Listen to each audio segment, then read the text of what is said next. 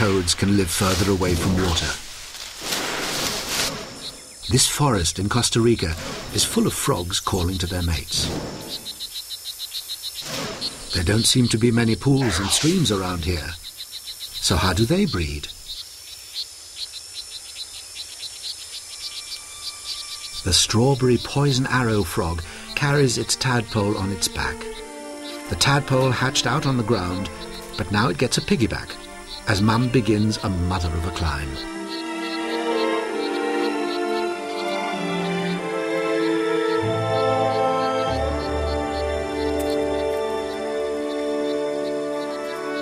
One at a time, she carries each one of her four or five tadpoles all the way up into the trees.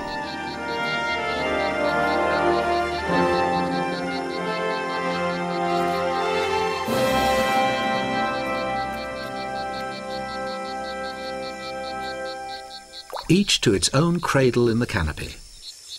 An egg cup-sized pond in these hanging gardens up to seven metres above the forest floor.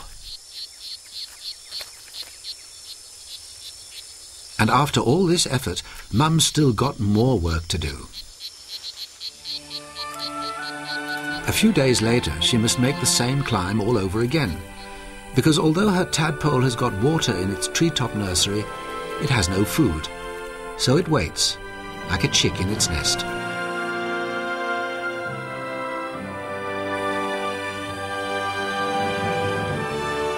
As she lowers herself in, the tadpole headbutts her, even giving her a nip, until she lays an infertile egg for it to eat. With these regular food parcels, the tadpole has all it needs in its tiny world to grow into a frog.